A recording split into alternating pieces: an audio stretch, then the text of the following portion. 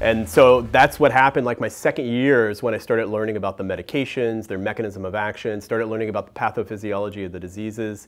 Um, so learning about things like schizophrenia and depression, um, substance use disorders. Uh, third year, learned how we used medications to treat them. And so like each year, subsequent year, I just got more and more interested in it. And then on my fourth year, uh, when I did, I believe I did two or three um, rotations in a, um, in a psychiatric facility and a detox facility as well.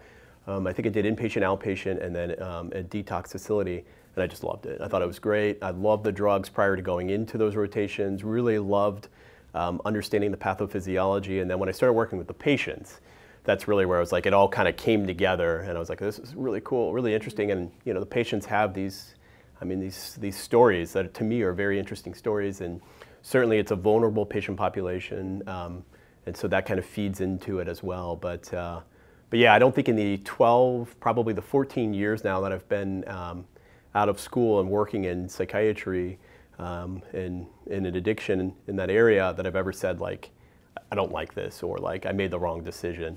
I think every day I'm kind of like, oh, you know, I mean, it's pretty cool. Like there's some cool stuff that goes on and at Duke at the hospital, being on a medicine psychiatry service, we see stuff that like I haven't seen in a long time or haven't seen ever. Or uh, it's like the 1% of stuff that you read about with an adverse reaction with a medication or you know, 1% of 1% of 1% of something that you see a patient present with. And it's really, I mean, it's really pretty interesting stuff. So, um, so. Thanks for watching this short clip from our Pharmacy IR podcast. To watch the full interview, you can check it out on our YouTube channel. And to make sure you don't miss anything, sign up for notifications on our Facebook page and like and subscribe anywhere that this podcast is offered.